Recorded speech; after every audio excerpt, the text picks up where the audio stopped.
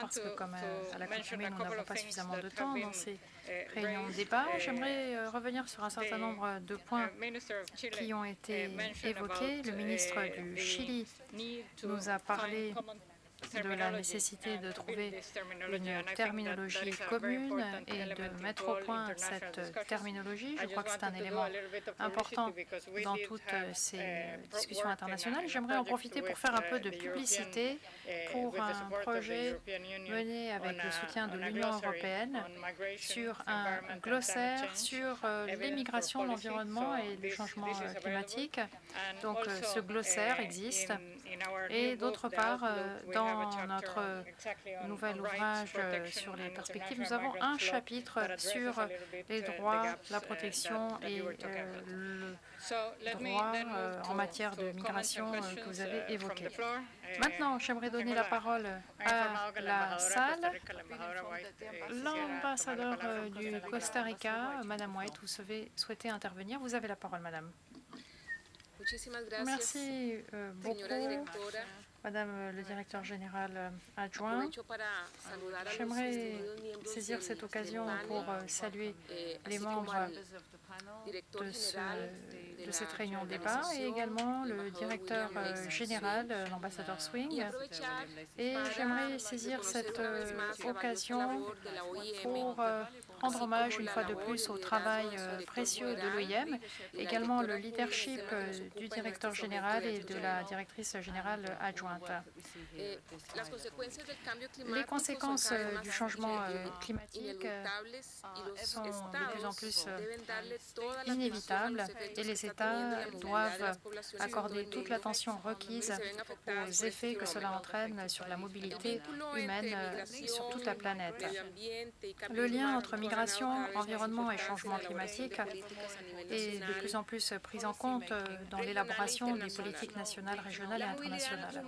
La mobilité humaine, qu'elle soit volontaire ou contrainte, est une réalité qui doit être abordée de manière holistique. La migration a constitué pour mon pays, le Costa Rica, un facteur crucial pour le développement du pays. Et notre pays s'est euh, distingué par son engagement en faveur de la promotion et du respect des droits de l'homme des migrants. C'est pourquoi nous avons participé activement au niveau national, régional et international au euh, débat qui nous occupe cet après-midi, euh, d'où ma volonté de vous livrer quelques réflexions suite aux interventions très riches que nous avons entendues de la part des panélistes.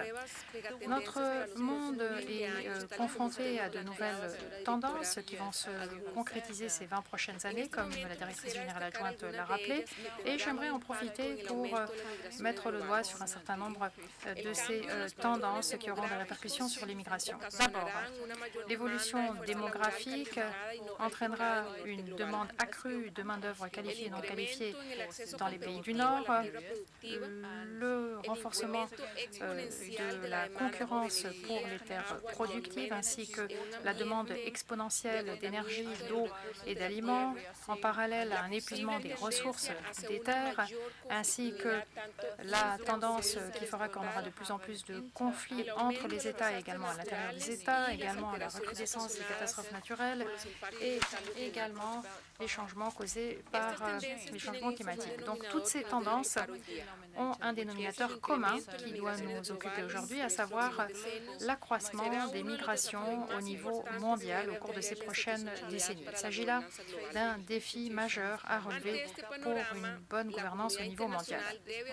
Face à un tel tableau, la communauté internationale doit engager une réflexion en profondeur et se poser les questions suivantes. Comment pouvons-nous nous préparer pour relever ces défis? Comment pouvons-nous soutenir dans son rôle fondamental d'organisation chef de file pour la gestion des migrations au cours de ces 20 prochaines années. Quels sont les aspects qui doivent être prioritaires pour les États dans la recherche d'une meilleure gouvernance pour euh, prendre en charge la population migrante? Comment pouvons-nous mieux coordonner euh, la création de connaissances, la collaboration institutionnelle et également l'intervention opérationnelle pour la protection des migrants? Quelles sont les structures, mécanismes et processus que nous devons consolider d'ores et déjà pour gérer et relever ce défi au cours des décennies à venir. Mon pays souhaiterait contribuer à cette réflexion mondiale dans différentes enceintes, notamment l'OIM, pour préparer cette discussion stratégique et pour faire en sorte que nous soyons mieux préparés au niveau national, régional et mondial. Nous ne devons pas attendre d'être débordés par ces tendances. Madame le directeur général adjoint, mesdames et messieurs, j'aimerais revenir sur un des points que j'ai évoqués précédemment, à savoir cette tendance majeure de déplacement transfrontières en raison des catastrophes naturelles et causées par les effets néfastes des changements climatiques. Le Costa Rica souhaite réaffirmer son attachement à l'étude de cette question et j'en veux pour preuve le fait que nous faisons partie du comité directeur de l'initiative Nansen, auquel participe également l'OIM, Effectivement, comme l'ambassadeur de la Suisse l'a dit, nous avons accueilli la deuxième consultation régionale de l'initiative Nansen en décembre 2013 pour l'Amérique centrale, avec une participation étendue, société civile, gouvernement, organisations régionales, internationales, milieux universitaires qui ont analysé les déplacements transfrontières euh, dans la région. Les conclusions et recommandations de cette réunion ont été particulièrement utiles et en février 2015 sera organisé à San José un atelier sur euh, les questions humanitaires pour donner un prolongement à ces consultations. Euh, en 2015, nous aurons vraisemblablement une année particulièrement cruciale parce que le programme de protection devrait être adopté et cela devrait nous permettre de mieux prendre en charge la population vulnérable touchée. Nous exhortons d'autres pays à rejoindre les rangs des amis de l'initiative Nansen et à appuyer ce processus important. Nous nous félicitons du fait que la question des déplacements transfrontières causés par les catastrophes naturelles et le changement climatique ait été intégrée à la déclaration et au plan d'action de Carthagène plus 30. Notre région est particulièrement vulnérable face aux catastrophes naturelles, nous le savons bien. J'en veux pour preuve les effets dévastateurs de l'ouragan Mitch en 1998, ainsi que le tremblement de terre qui a frappé Haïti en 2010. Cela entraîne un certain nombre de conséquences pour les populations déplacées. On a beaucoup progressé en matière de prévention et en matière de riposte et de gestion du risque dans notre région euh, d'Amérique centrale grâce à une coordination entre mécanismes régionaux et d'autre part grâce à la conférence régionale sur la migration. J'aimerais évoquer le mécanisme qui existe dans notre euh, région, c'est le CEPREDENAC, le Centre de réduction des risques euh, pour l'Amérique centrale. L'appui de l'OIM dans ce contexte a été essentiel. Nous avons récemment organisé un atelier sur les changements climatiques et la migration L'OIM l'a organisé euh, récemment au Chili en octobre dernier, où nous avons étudié le changement climatique, les politiques publiques en rapport avec la mobilité humaine. Autre tendance majeure que j'ai évoquée, il s'agit de la migration forcée causée par des conflits intra- ou interétatiques. Cette tendance est en augmentation et nous avons tous assisté à la crise humanitaire récente à laquelle nous avons assisté, d'où l'importance de l'initiative MISIC de l'OIM, à savoir les migrants des pays en crise. Mon pays participe aux travaux de ce groupe de travail qui vise à définir des lignes directrices pour améliorer euh, la prise en charge des migrants en situation de crise en raison de euh, troubles civils ou de catastrophes naturelles. Cela cela a été particulièrement positif dans notre région et cela a été évoqué lors de notre conférence régionale sur l'immigration. Il est essentiel euh, de soutenir et de promouvoir cette initiative. Madame le directeur euh, général adjoint, mesdames et messieurs les panélistes, nous pensons que la contribution de l'OIM à ce euh, débat et pour faire en sorte que la mobilité humaine soit évoquée dans les sphères environnementales est tout à fait louable. Et ce, conformément aux résultats du dialogue de haut niveau des Nations Unies sur la migration internationale et le développement qui a eu lieu en 2013. Comme le directeur général l'a dit à plusieurs reprises, il est nécessaire que la question des migrations soit intégrée dans le programme de développement de l'après-2015. Et à ce titre, les alliances entre l'OIM et la Convention cadre des Nations Unies sur les changements climatiques, ainsi que celle sur la lutte contre la désertification, ou encore le Bureau de réduction des risques liés aux catastrophes, le Forum de vulnérabilité climatique ou encore le GMG, pour en citer quelques-uns seulement, ont été essentiels. D'autre part, il est essentiel que dans le cadre du cadre d'action de Yogo, l'on fasse référence aux migrations dans la perspective du développement durable, de l'adaptation au changement climatique et de la réduction des risques de catastrophes. Quant à nous, États, nous devons consentir des efforts pour intégrer dans nos politiques nationales et régionales la réduction des risques liés aux catastrophes dans nos politiques de développement durable. et également intégrer la réduction du risques dans nos programmes de préparation, de riposte et de euh, relèvement suite à des situations d'urgence. Enfin, l'adoption de politiques nationales concrètes est indispensable et mon pays souhaite réaffirmer son engagement à travailler aux côtés de l'OIM et les mécanismes régionaux pour relever ces nouveaux défis et continuer à garantir le respect des droits de l'homme des migrants et d'autre part asseoir euh, les liens entre migration et développement. Je vous remercie. Merci beaucoup, Madame l'ambassadrice. Dix délégations ont demandé la parole. Je vous prie donc d'être bref pour permettre également aux différents orateurs de la table ronde d'avoir l'occasion de répondre. Je donne la parole à son Excellence l'ambassadeur de l'Allemagne.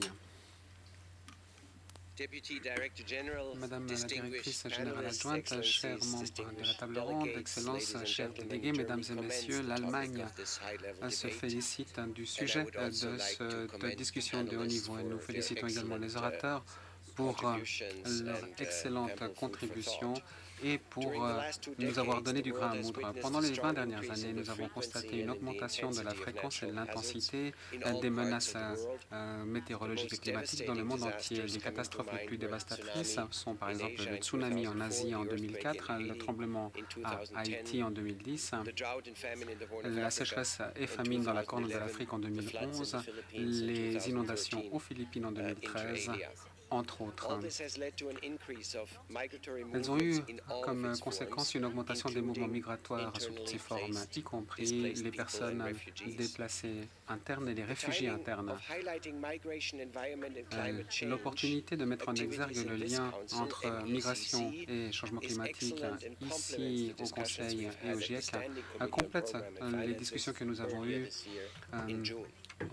dans les réunions du comité permanent Programme et Finances en juin. Ces catastrophes ont une incidence à court ou long terme, mais en tout cas, elles se font sentir pour euh, des euh, millions, voire des dizaines de millions de personnes dans le monde entier. Il me semble qu'il faut s'en tenir sur trois leçons. Tout d'abord, ce que l'on peut tirer comme leçon de ces exposés et des documents de travail, c'est que le travail lié au changement climatique au sein de l'OIM est aussi transversal que possible, puisqu'il concerne l'amélioration de la stratégie qui englobe les trois euh, objectifs du GIEC et de ses structures, de la crise migratoire. Il a également une incidence euh, intellectuelle sur les ressources au siège en termes opérationnels et également en matière de compétences pour la gestion des migrations et a également une incidence sur l'IDF, le Fonds pour les migrations. Euh, la section doit garder le rythme en tenant compte de toutes ces lignes d'action de manière complexe. Deuxièmement, les conséquences du changement climatique sont une tâche interinstitutionnelle de façon intrinsèque. Nous félicitons l'OIM pour ses contacts avec le groupe intergouvernemental d'experts pour le changement climatique et également d'autres organes. Vous avez souligné l'initiative Nansen ainsi que les autres mouvements. L'OIM est membre du groupe de pilotage. La compétence de l'OIM, qui remonte à plus de 22 ans, et les contributions actives nous semblent fondamentales pour le travail de l'initiative Nansen et nous invitons l'OIM en tant que chef de file en matière de migration d'être encore plus actif dans cette, ce projet de recherche transversale de déplacement. Nous ne pouvons nous permettre de perdre cette compétence. Il nous semble qu'il faut l'intégrer.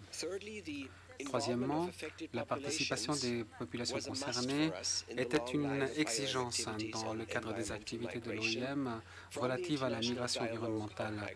Depuis le dialogue sur la migration en 2011 jusqu'à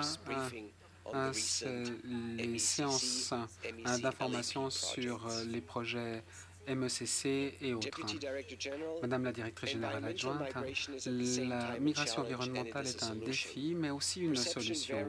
Les perceptions peuvent varier selon les populations concernées et il est fondamental de former les personnes concernées et les intégrer les personnes déplacées aux travaux et leur proposer, entre guillemets, les opportunités qui sont ainsi offertes à tout un chacun. Merci. Merci, Monsieur l'ambassadeur. Je donne la parole à la délégation du Pérou.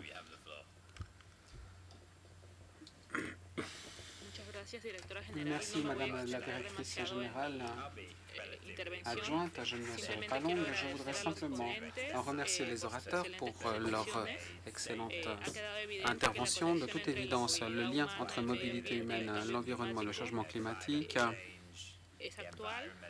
est un sujet d'une très grande actualité. Nous remercions l'OIM pour ses initiatives et ses travaux afin de présenter les aspects positifs de la migration tels qu'ils se reflètent avec le changement climatique.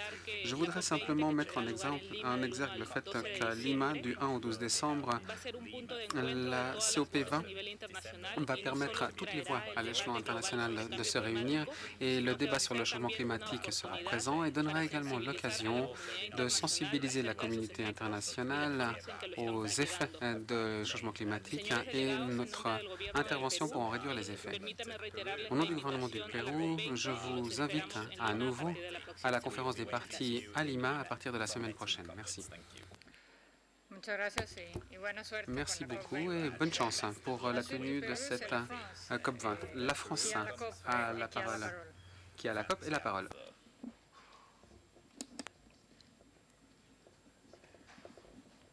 Merci, Madame la, directrice. D'abord, la France souhaite faire écho aux intervenants précédents qui ont euh, loué la qualité euh, des panélistes et de leurs interventions.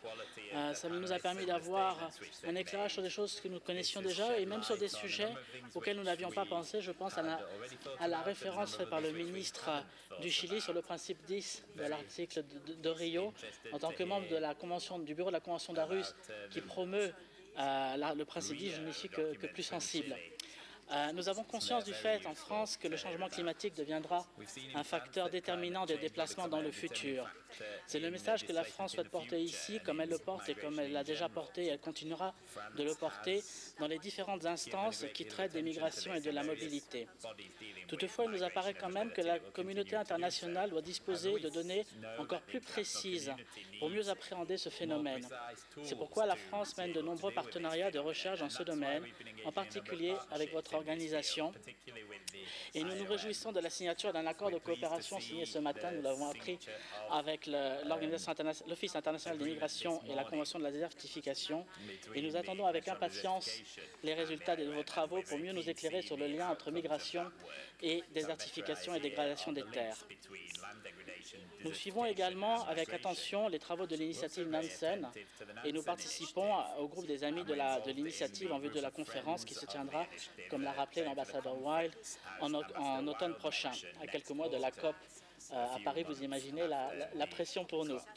Euh, à ce jour, il ressort, et nous partageons votre diagnostic, que les consultations régionales ont démontré que les problématiques variaient selon les spécificités propres à chaque région, d'où la nécessité peut-être d'avoir en premier lieu une réponse au niveau régional. Nous considérons que l'OIM joue un rôle central dans le domaine des migrations causées par les déplacements climatiques à travers la diversité et la richesse de ses activités. Celles-ci ne sont hélas toujours pas pas forcément connus ni appréciés à leur juste valeur. Et nous espérons que ce genre de, documents, une fois traduits en français notamment, permettront de mieux diffuser euh, votre, savoir-faire. Nous nous félicitons également de la décision récente du directeur général, que je profite euh, pour saluer, de créer une division au sein de l'OIM consacrée à cette question. Nous pensons que cela permettra de contribuer à donner davantage de visibilité à votre organisation dans ce domaine. Nous ne pouvons que souscrire aux propos, encore une fois, tenus par l'ambassadeur Wild sur la place que l'OIM doit avoir au sein de l'initiative Nansen. Si la, question des déplacés pour cause de changement climatique est relativement nouvelle, ou en tout cas émergente, sur la scène internationale, il existe néanmoins de nombreux projets existants pardon, et il est nécessaire de bâtir sur ces derniers. Et nous sommes heureux de constater que l'OIM est sur cette ligne en développant de nombreux partenariats.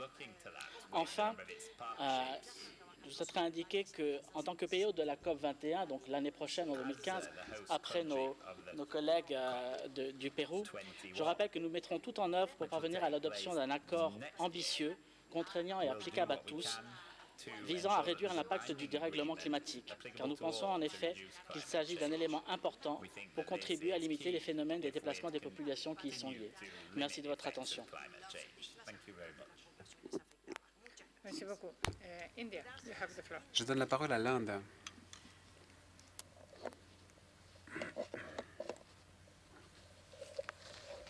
Madame la directrice générale adjointe de l'IOM, chers orateurs, je voudrais vous remercier toutes et tous pour avoir mis en exergue un aspect fondamental des changements climatiques et de ses répercussions sur la migration.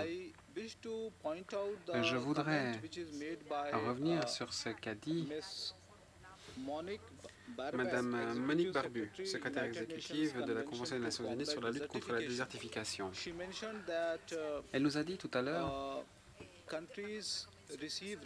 que les pays sont bénéficiaires de transferts de fonds qui pourraient être utilisés dans la lutte contre le changement climatique et ses effets sur la migration. Permettez-moi de vous dire qu'en général, ces transferts de fonds proviennent d'un grand nombre de personnes qui envoient précisément ces fonds pour améliorer les conditions de vie de leur famille. Bien que les montants semblent importants lorsqu'ils sont cumulés, les sommes concernées dans la pratique sont relativement réduites. Par ailleurs, le gouvernement n'a pas la mainmise sur ces fonds. Ce sont les revenus durement gagnés des expéditeurs. De nombreux pays, dont l'Inde, qui est sans doute l'un des pays euh, bénéficiaires du plus grand nombre euh, de transferts de fonds de cette nature, les investissements généralisés ont pour but précisément de favoriser les investissements de ces envois de fonds, mais c'est la décision souveraine des euh, propriétaires de ce fonds. Et ce sont eux qui ont le droit de décider quelle est l'utilisation qu'ils feront des fonds ainsi transférés et notamment s'ils sont investis. Nous constatons que les transferts de fonds ont un lien indirect avec euh, la lutte contre le changement climatique. Mais nous ne pensons pas que le gouvernement ait euh, la possibilité de canaliser ces investissements de façon directe sans le consentement explicite euh, des personnes à qui cet argent appartient. Je suis tout à fait d'accord avec ce qu'a dit Monsieur l'ambassadeur du Bangladesh lorsqu'il a énoncé les problèmes que rencontrent les pays du sud-est asiatique dans leur volonté de lutter contre les dangers climatiques.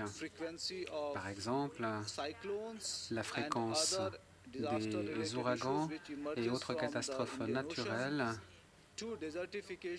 la désertification et de fréquentes inondations. Ces dangers existent. Nos pays en sont victimes et individuellement et collectivement, essayons de mettre au point des systèmes de délégation efficaces, des euh, semences résistantes et nous essayons d'utiliser également des connaissances locales et autochtones pour favoriser les moyens de subsistance plutôt que euh, de leur apporter des subventions. Je voulais simplement vous dire qu'au-delà euh, de ce thème global de la migration en lien avec les changements climatiques, nous devons améliorer la résilience des communautés locales en leur impartissant une formation suffisante qui leur permette effectivement de lutter contre les phénomènes de changement climatique et d'améliorer leurs conditions de vie. Merci. Uh, Je remercie l'Inde et comme il nous reste encore quelques orateurs, je demande aux orateurs de prendre note des questions qui leur sont directement dirigées. Et ensuite je vous donnerai la parole pour apporter une réponse à ces questions. Je donne maintenant la parole au Mexique.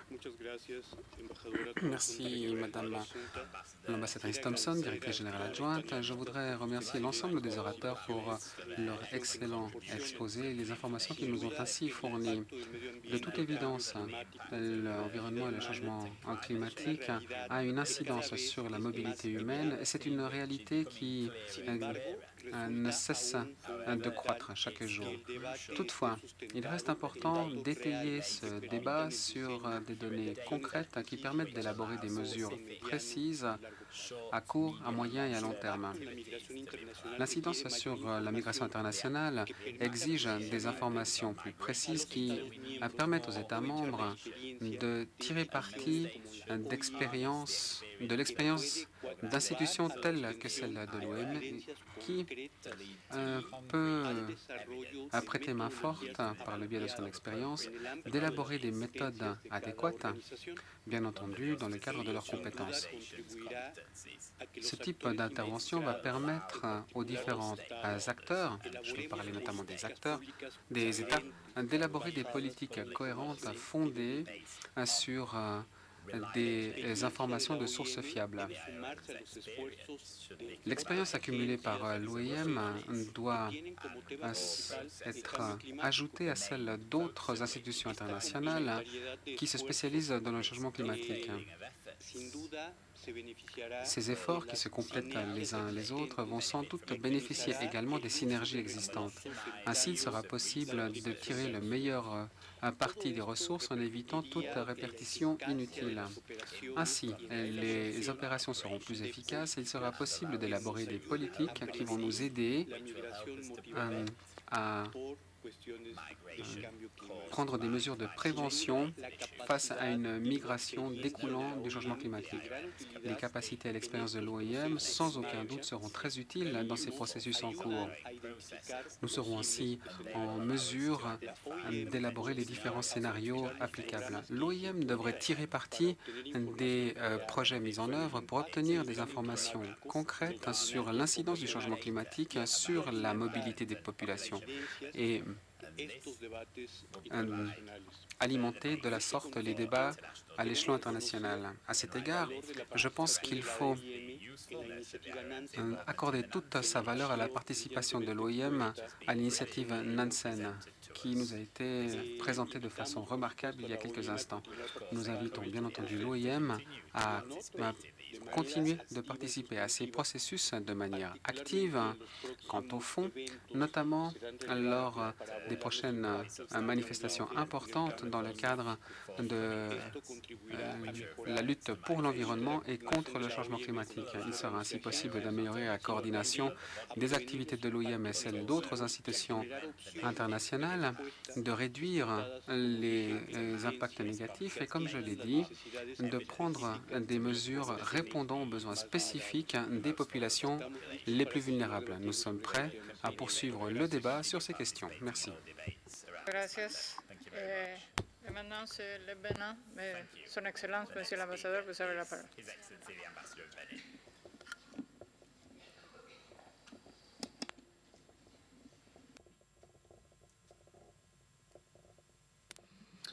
Merci beaucoup, Madame la directrice générale adjointe.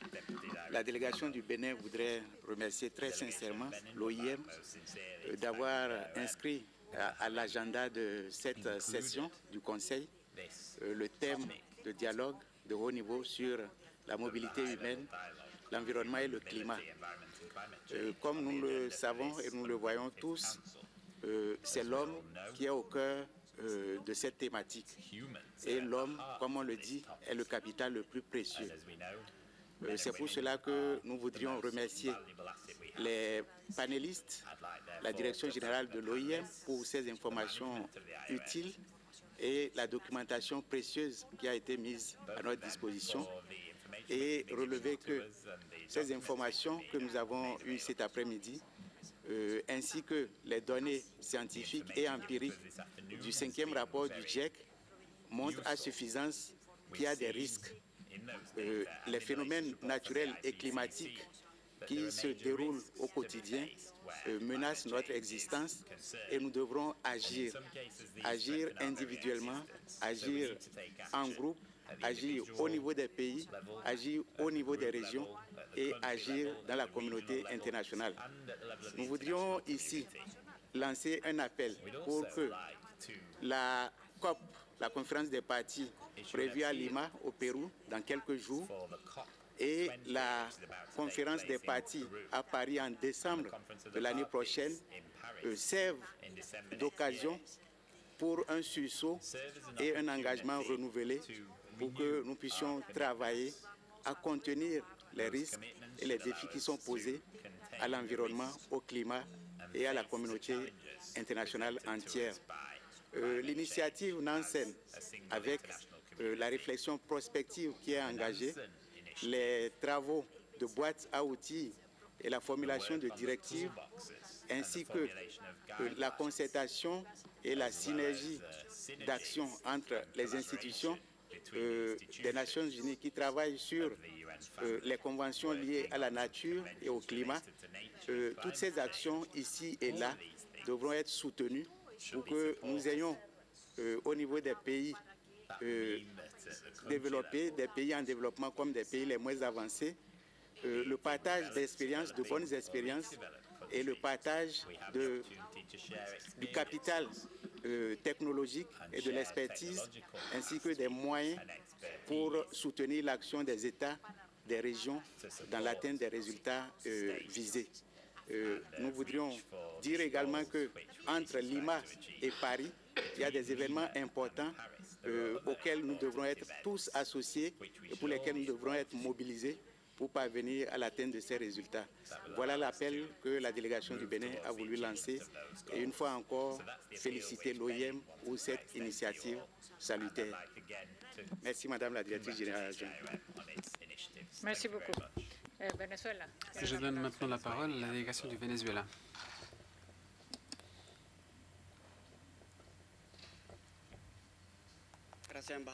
Merci, Madame euh, l'ambassadrice. Eh, de même que mes prédécesseurs, je voudrais remercier les orateurs pour les informations qu'ils ont apportées à notre débat de cet après-midi. Alors que j'écoutais l'une des premières oratrices, Madame Barbu. J'entendais qu'elle nous fournissait une somme de chiffres et de données. Et je me souvenais de cette, ce petit film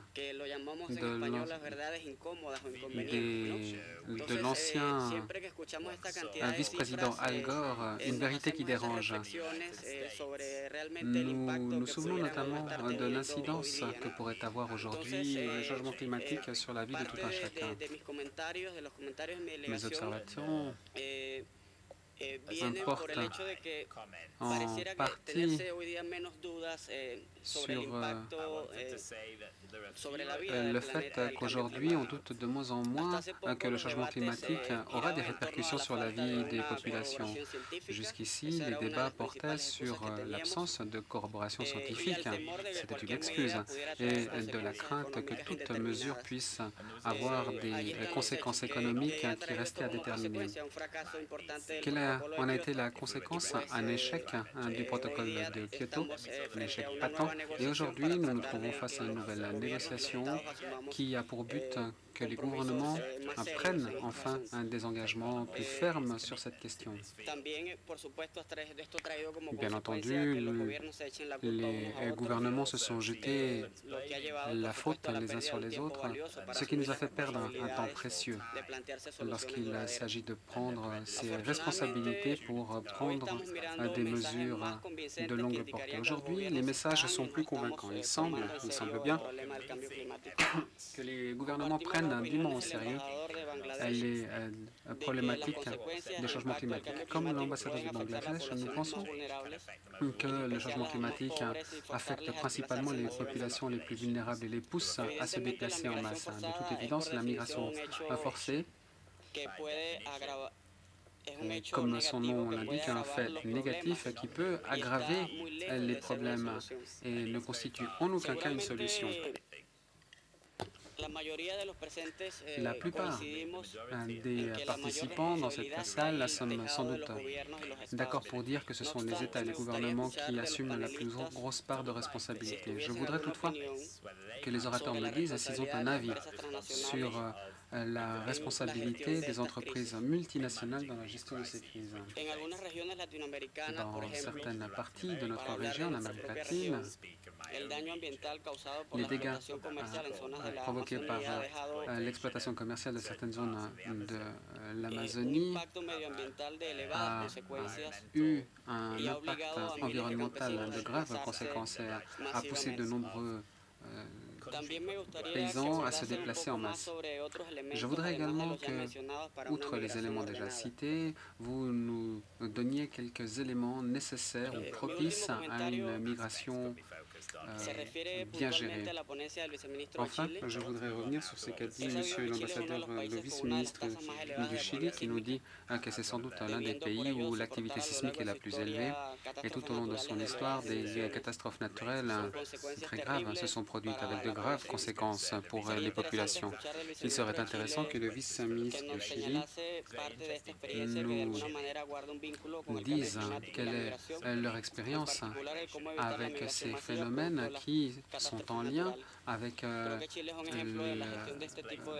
la relation entre la migration et l'environnement, et notamment qu'est-ce que le Chili a fait pour faire face à ce genre de phénomènes et de situations. Merci. Je donne la parole à l'Éthiopie. Merci, Madame la directrice générale adjointe.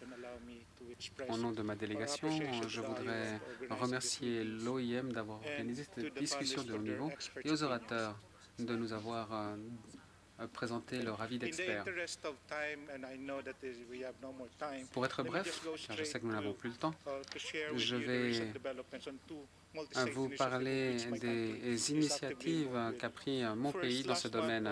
Le mois dernier, du 15 au 18 octobre, nous avons organisé la quatrième consultation régionale à Manila sur le thème de la mobilité en cas de euh, catastrophe naturelle avec plus de 100 participants qui représentaient neuf pays de la sous-région et des organisations régionales ou internationales, la société civile, des chercheurs, etc. Le but de ces consultations était bien entendu de faire face aux perspectives et opportunités ainsi que les problèmes qui se posent dans la région à la suite des changements climatiques et la mobilité humaine, d'élaborer des recommandations pratiques pour faire face à ces évolutions et ces défis à l'échelon régional et international. Les participants ont mis en exergue plusieurs domaines d'intervention. Je vais en citer trois. Le premier, pour les parties prenantes doivent tenir compte de la relocalisation euh, lorsque les mesures prises sont insuffisantes pour protéger les communautés et que ces déplacements tiennent compte des liens communautaires, à leur proposer des moyens de subsistance adéquats, des services sociaux hein, qui sont offerts à ces communautés. Deuxièmement, les parties prenantes doivent euh, mm, prendre des mesures euh, de protection des personnes en déplacement lorsqu'elles sont menacées et de euh, mettre en place des mécanismes à l'échelon bilatéral et sous-régional. Pour les pays d'origine et de destination, protéger les migrants en cas de catastrophe, notamment par euh, les services culturels et une assistance d'urgence en tenant compte de leur statut. les, associations de travailleurs migrants à l'étranger peuvent également euh, prendre une part active dans l'établissement de ce genre de relations euh, pour que les mesures soient prises de façon opportune. Les Philippines ont également pris une autre initiative pour les, migrants en, cas de, en situation de crise en collaboration avec les États-Unis. Cette initiative a, élaboré des plans d'action concrets émanant du deuxième dialogue de haut niveau sur migration et développement de New York en 2013.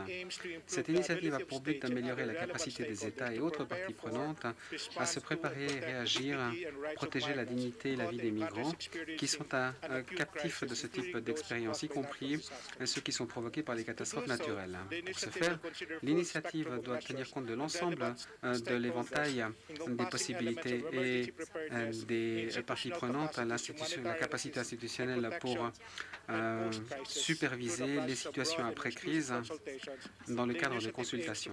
L'initiative a pour but d'élaborer une série de lignes directrices volontaires et des principes qui doivent énoncer les responsabilités des parties prenantes vis-à-vis des migrants en situation de crise et élaborer des bonnes pratiques hein, pour leur permettre hein, de faire face aux conséquences à long terme de ce type de situation. Un groupe de travail a été créé à cette fin, composé de, 16, de plusieurs pays, l'Australie, le Bangladesh, la Costa Rica, les Philippines et d'autres, hein, et qui recevra l'aide financière et technique de la Commission européenne, le représentant spécial du secrétaire général pour euh, la migration internationale et le développement, l'IOM, le HCR et l'Institut de Georgie pour euh, les études sur la migration et le développement. Madame, les consultations régionales vont bientôt commencer l'année prochaine. Nous espérons que les États et autres parties prenantes pourront participer pour apporter une contribution active à l'élaboration de cette initiative. Merci beaucoup. L'Éthiopie. Um, thank you, Madame Deputy Director General. Uh, we commend IOM Madame for the holding of this panel. adjointe, nous félicitons l'OIM d'avoir organisé ce débat sur une question d'actualité, une question à laquelle l'Éthiopie est très attachée, uh, à savoir euh, le lien entre changement climatique et euh, migration. Nous remercions les panélistes pour les renseignements qui nous ont été fournis sur les différentes initiatives dont ils ont connaissance. Nous pensons que c'est un phénomène qui exige une attention plus particulière. En Afrique subsaharienne, nous avons eu un problème d'augmentation de la température, de désertification, de nouveaux pesticides, dégradation des terres, etc. Et cela a entraîné une mobilité accrue de la population, à la fois à l'intérieur des pays et transfrontières qui doit pousser les États à prendre des mesures d'adaptation, d'atténuation du changement climatique et également um, euh, de coopération internationale et de renforcement des capacités. Nous attendons avec intérêt la réunion qui se tiendra au Pérou prochainement et nous pensons que cela produira des résultats. Et nous félicitons également la Suisse et la Norvège pour l'initiative Nansen parce que cela permet de s'attaquer à une partie du problème. Nous rejoignons un des orateurs précédents qui a dit que la protection et l'assistance humanitaire en faveur des migrants climatiques devraient se voir accorder l'attention requise. Pour conclure, Madame le directeur général adjoint, nous aurions deux questions à poser aux panélistes. Premièrement, comment évaluez-vous le cadre institutionnel et juridique régional et international pour la protection des personnes déplacées pour des raisons climatiques. Nous avons bien pris note de ce qui a été fait par l'OIM en la matière. Que devrait-on faire du côté de l'OIM et des États membres pour compléter encore ces activités qui ont déjà commencé et qui font l'objet d'un rapport dont nous avons été saisis. Merci. Merci beaucoup à l'Éthiopie. Euh, L'IDMC a la parole.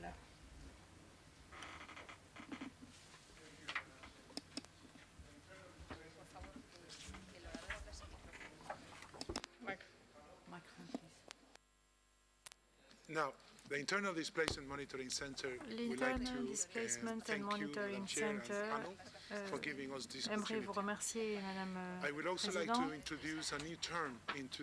de nous donner la possibilité d'intervenir. J'aimerais également introduire un terme nouveau dans cette euh, discussion et je pense qu'il faut se pencher sur les trajectoires euh, des déplacements, mais nous devons demander ce qu'il advient de ceux qui ne peuvent pas franchir les frontières, ceux qui ne parviennent pas à fuir, à s'échapper, à émigrer, ceux qui sont euh, contraints de rester en raison d'une situation politique qui les empêcherait de partir. Nous devons comprendre leur situation. Pourquoi? Parce que je suis également porteur d'une mauvaise nouvelle. D'ici à 2100, 39 de la population mondiale vivra en Afrique. Si nous n'offrons pas de solutions, d'actions de prévention euh, en matière d'égalité, de gouvernance, de paix, etc., eh bien, nous aurons davantage de déplacements internes et d'immigration transfrontière. La protection doit être envisagée comme un droit et une mesure nécessaire pour ceux qui franchissent les frontières, mais plus encore, nous devons renforcer la protection pour les déplacés internes. En 2013, 8,2 millions de personnes ont été déplacés internes suite à des conflits. 22 millions l'ont été en raison de catastrophes, toujours en 2013. Les données de l'IDMC montrent que depuis 1970 et jusqu'en 2013, le risque de déplacement interne en raison de catastrophes a doublé. et ce, indépendamment de la taille de la catastrophe ou de la fréquence euh, des catastrophes et indépendamment du changement climatique. Donc, indépendamment du changement climatique, le euh, risque de déplacement en raison de catastrophes naturelles a doublé. Et d'autre part, euh, il y a les risques associés au changement climatique qui sont plus fréquents et cela entraînera davantage de cas de déplacement à l'intérieur du pays et également transfrontières. Alors, quelles sont les solutions? Il faut essayer de prévenir ce qui est évitable et de se préparer à ce qui est inévitable. Et à cette fin, nous vous adresserons une lettre, comme nous l'avons fait l'année dernière, en demandant à tous vos pays de nous fournir des renseignements sur les déplacés internes dans le pays en question pour 2014. Il s'agit là d'un euh, problème qui a pour origine euh, l'action humaine et il faut que l'humanité, elle aussi, trouve une solution sur la base de renseignements précis, mais également de volonté politique. Merci. Merci uh, beaucoup. La Banque mondiale.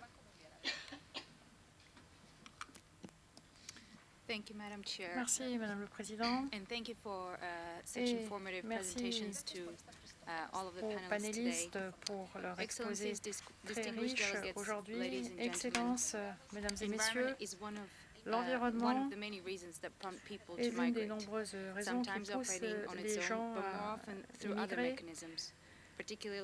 souvent associés à d'autres mécanismes comme la perte de moyens de subsistance. Il faut comprendre le regroupement entre changement climatique et euh, migration et analyser uh, donc les événements climatiques. J'aimerais également rappeler l'importance des uh, trois conférences internationales qui nous attendent en 2015 et 2016, où les questions liées au changement climatique et aux migrations seront traitées et où l'on pourra donc agir. La conférence mondiale sur la réduction des risques de catastrophes Sendai 2015 la conférence des parties et également la réunion de sa partie au protocole de Kyoto et également le sommet humanitaire mondial qui aura lieu en 2016 à Istanbul. La Banque mondiale continuera à soutenir le travail préparatoire qui est déjà en marche pour préparer ces événements. Le partenariat mondial de connaissance, autrement dénommé NOMAD, chapeauté par la Banque mondiale, contribuera à ces processus préparatoires. L'année prochaine, notre groupe thématique continuera à faciliter l'accès à l'information pour la prise de décision. J'aimerais essayer de vous expliquer les résultats que nous attendons. D'abord, un atelier sur l'approche longitudinale des stratégies d'adaptation liées aux migrations. Ensuite, les documents qui ont été commandés sur trois thèmes importants en matière de planification de l'adaptation, l'impact de la vulnérabilité et de la résilience pour les personnes et euh, les foyers, une cartographie des institutions qui doivent participer à la euh, planification institutionnelle et également les mouvements sud-sud dans le contexte des changements euh, climatiques. Merci. Je vous remercie, le HCR, qui est le dernier orateur sur ma liste. Merci, Madame le uh, Président. Le HCR